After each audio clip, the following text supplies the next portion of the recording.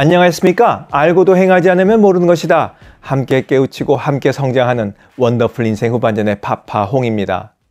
식사 자리만큼 정겹고 귀한 시간도 없습니다. 그래서 가까워지고 싶을 때 또는 감사의 마음이나 미안한 마음을 표현할 때 식사 자리를 마련하기도 하고 하루 일과를 마친 후 저녁 식사만큼은 온 가족이 한데 모여 얼굴 마주보며 식사하는 것을 소중하게 생각합니다.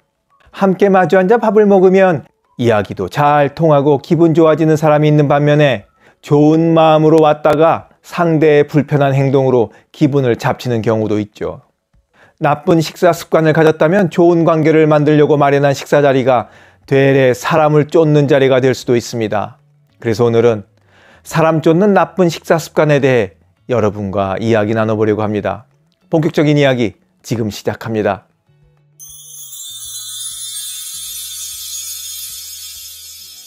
사람 쫓는 나쁜 식사 습관.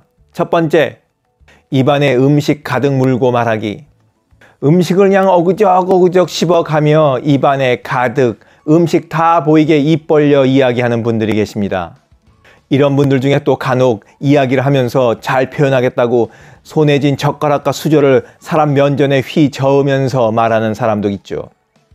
아무리 흥분했더라도 이러시면 곤란합니다.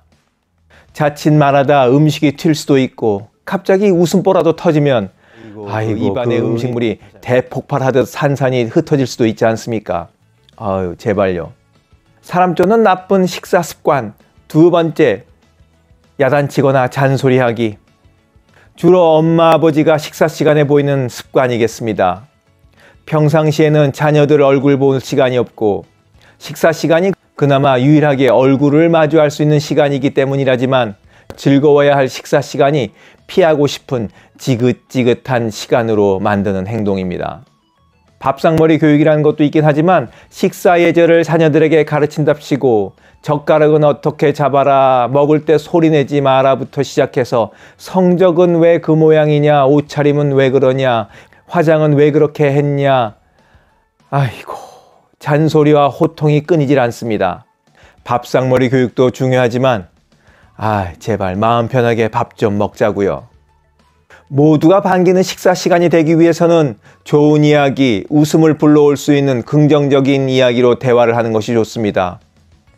지적하고 싶은 것이 있더라도 혀를 깨물어서라도 꼭 참아야 합니다. 참고 재미난 이야기 하시자고요. 사람 쫓는 나쁜 식사 습관 세 번째 소리내며 먹기 냠냠 쩝쩝 후루룩 음식 씹는 소리를 내며 먹는 사람들이 있습니다.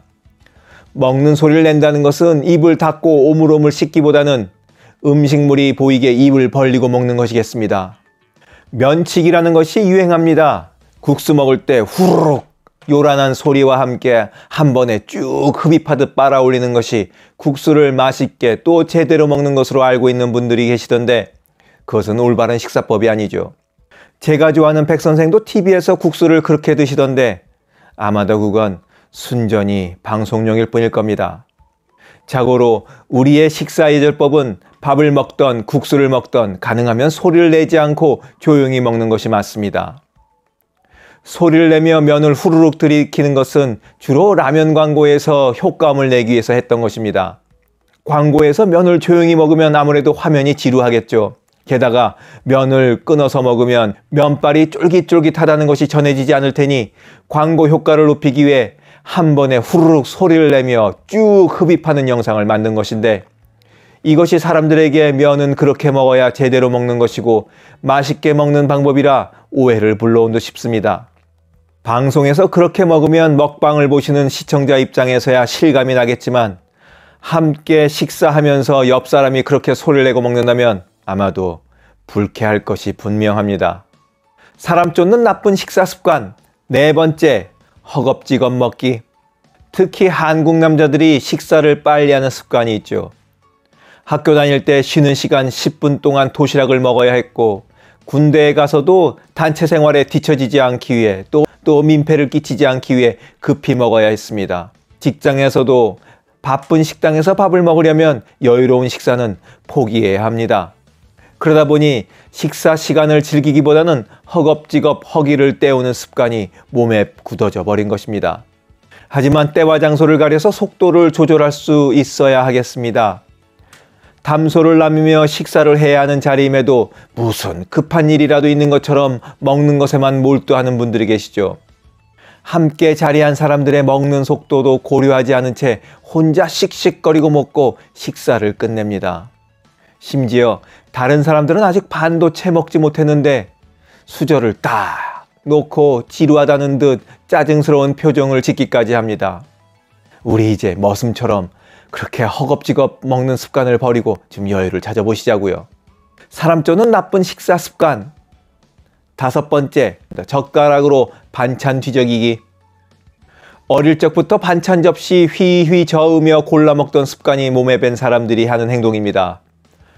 혼자 먹는 자리도 아니고 여럿이 함께 먹는 자리에서 함께 먹는 반찬이나 메인 요리 등을 젓, 젓가락으로 휘 젓는 것 자체가 함께 한 사람에 대한 배려가 없다는 것이죠. 더구나 요즘은 갈수록 개인 위생에 사람들이 민감한데 침 묻은 젓가락으로 아무렇지도 않게 뒤적거리는 행동은 입맛을 싹 가시게 하는 행동이 아닐 수 없습니다. 아유, 다음부턴 같이 밥 안 먹어요. 사람 쫓는 나쁜 식사 습관. 여섯 번째, 이 드러내 보이며 이쑤시기. 음식을 다 먹고 난 뒤 손으로 입을 가리고 이쑤시개로 이 사이사이에 낀 음식물들을 빼는 것은 대화를 위해서라도 필요한 행동일 수도 있습니다. 하지만 손으로 입을 가리지 않고 이를 드러내 보이며 이를 쑤시는 사람이 있죠. 아니 뭐정 그렇게 하고 싶다면야 거울 있는 화장실에 가서 살짝 하고 오던가 하면 좋을 텐데 앞에 앉은 사람이 거울도 아닌데 이를 그렇게 훤히 드러내 보이면 그 모습이 좋을 리 없습니다. 손톱으로 음식물을 빼려고 이를 쑤시는 사람에 비하면 그래도 이건 양반이죠. 음식 먹는 중간중간마다 손톱으로 이를 쑤시는 사람들이 있습니다.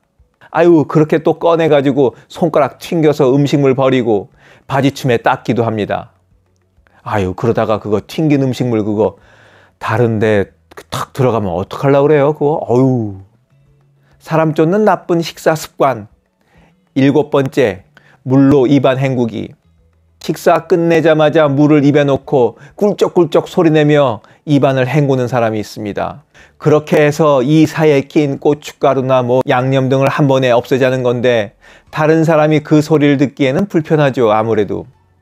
그리고 그렇게 입가심을 쑥 삼키는 거 보면 아유 기분도 참 찝찝해집니다.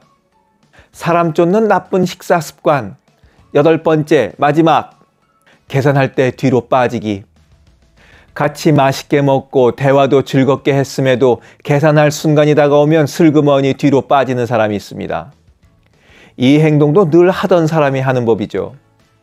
얻어먹는 것이 몸에 밴 사람들일 겁니다.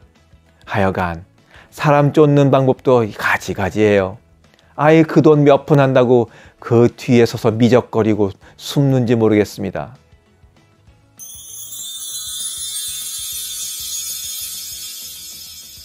함께 밥을 나누는 것은 관계를 좁힐 수 있는 소중한 시간입니다. 그래서 식사 자리 아무나 하 같이 하지 않죠.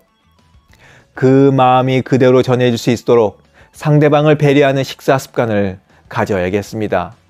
영상을 보신 모든 분들이 모두가 즐거운 식사 시간을 가질 수 있기를 바라면서 오늘 영상 마치도록 하겠습니다. 원더풀 인생 후반전에 멋지게 나이 먹기는 계속됩니다. 감사합니다. 자랑질, 지적질, 아는 채, 있는 채 하는 사람들에게 지치셨죠? 상대방의 얘기 경청하고 익은 벼처럼 겸손한 사람들이 모인 곳이 있습니다. 바로 네이버 카페 실버들의 전성시대입니다. 너무 가깝지도 너무 멀지도 않은 친구가 필요하다면 네이버 카페 실버들의 전성시대로 오시면 됩니다. 아래 댓글란 맨 위에 초대글을 올려놓을 테니까 클릭하고 들어오시면 아주 간단하게 회원가입이 됩니다. 아 참, 냉소적이고 비아냥거리고 자기주장 강하고 남 얘기에 이죽거리는 분은 죄송하지만 절대 사양합니다.